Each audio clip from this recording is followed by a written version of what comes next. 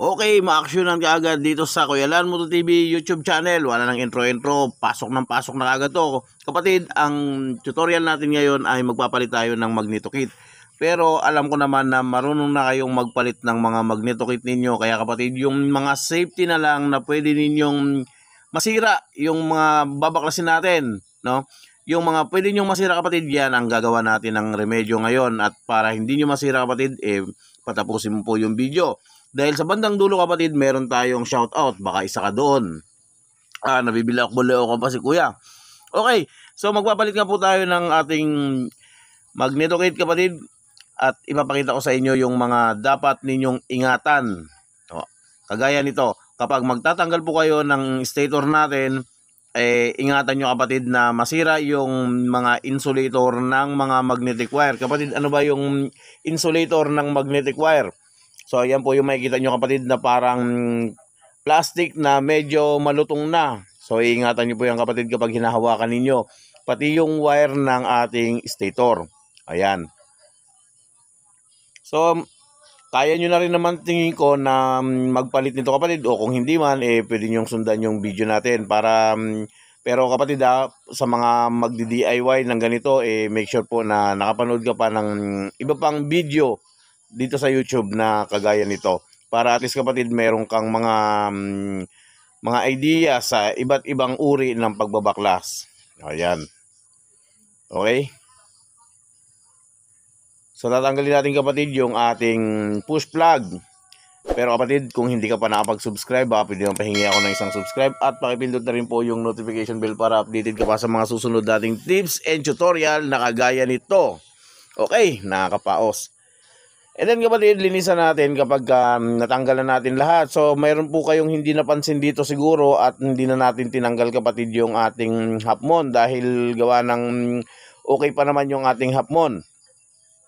Ngunit kung tatanggalin mo kapatid, eh, may flat washer lang po yan at kailangan nyo pong itap dead center kapag tatanggalin nyo siya. Huwag nyo po kapatid tatanggalin ng naka-bottom or naka-ibang position yung ating magneto Okay kapatid, ito po yung ating push plug. Yan. Yan po yung tumutulak sa ating side bearing para hindi ho naingay or nakaldag-kaldag yung tunog ng ating mga ng ating makina. Ito kapatid, kapag binabaklas natin ito at ikinakabit na, ayan, meron po tayong dapat na konting kaalaman tungkol dito kapatid dahil kapag hindi nyo po alam yung diskarte sa pagkakabit nitong push plug, eh maaari pong umingay ang ating makina or mabasagan po kayo ng push plug. Yan, kapag nahigpitan nyo kapatid, eh pupupukin nyo lang po ng paunti-unti. Tapos, higpit na naman, then pukpuk na naman kapatid hanggang sa maramdaman nyo po na bumaon na talaga yung push plug natin hanggang doon sa pinakadulo. As in bumangga na siya doon sa side bearing natin. So paulit-ulit lang yan kapatid na gagawin ninyo. Siguro kung sa tingin ko lang mga anim na beses. Depende po kung gaano kalakas ang pukpok ninyo. Pero kapatid, kailangan maramdaman mo na talagang baon na baon na yung push plug natin. Okay. So sa pagkakabit nito kapatid, gagaya ng sinabi ko sa inyo ay ingat-ingat pa rin po. Dahil minsan nagkakamali po tayo sa pagpa, pagkakabit. Yun, nabubulol-bulol pa. Pagkakabit ng oil seal.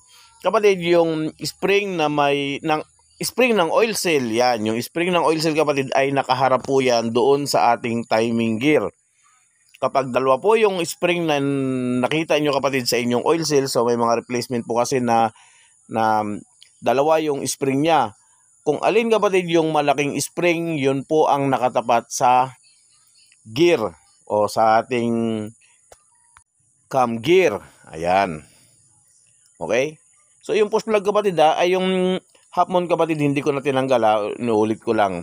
Kasi wala pong tagas. At replacement yung ikakabit natin, eh, mas maigi na pong yung luma na wala namang tagas. Before natin ikabit kapatid yung stator natin, ay huwag po kalimutan yung spring na nakalagay doon sa ating half moon. No? Yung shafting po ng cam follower. Ayan. So yung paghihigpit kapatid, eh, i-check nyo muna yung ating mga tornilyo kung medyo may baywang na or sexy na. Huwag nyo na ikabit kapatid para hindi na pumaputol, no? So nangyayari po kasi yan sa mga tornilyo ng Honda. At kung maghihigpit kayo kapatid, make sure na mahigpitan nyo lang maganda dahil kapag natanggal po yan, eh naku po, malaking disgrasya. Ayan. Okay, so tatlong tornilyo naman lang yan kapatid eh. Parang ang sukat niyan ay 6 by 20 kung hindi ako magkamali. Yan. So, i-check nyo kapatid yung ating magneto. Baka po kapag binaklas natin, eh, nailapag natin sa may mga maliliit na bakal-bakal, ihihigo po yan ng maliliit ng bakal, eh, pwede pong makasira yan kapatid kapag naikabit na natin sa ating stator. Eh, durog-durog yan kapatid, asahan mo na yan, no? Kaya kailangan makita nyo na wala talagang nakadikit sa magneto natin. Okay, kapag nakabit na po yung magneto, make sure na mahigpit at pwede na natin kapatid na paanda rin ang motor para maobserbahan natin kapatid habang naglilinis tayo ng cover na ikakabit natin. At before tayo kapatid magkabit ng cover, make sure yung ating neutralite wire no, ay naka-position po doon sa kanal na pinaglalagyan talaga nito. So mayroong slope kapatid na dinadaanan nito kaya dapat ay mailagay mo siya doon kapatid sa kanal na pinaglagyan niya. Ayan, para hindi ho maipit yung wire at mm, kapag naipit yan kapatid, eh lagi lang nakailaw ang inyong neutralite. Okay kapatid? So kung nakatulong sa iyo kapatid ang video ito, baka pwede nang pahingi ng isang subscribe at pakipindot na rin po ang notification bell. Kapatid, ito na po ang inyong mga shoutout. So maraming maraming maraming maraming salamat po sa inyo lahat mga kapatid. God bless po sa lahat. So yung mga ipapakita kong channel dito kapatid, kung maaari ay subscribe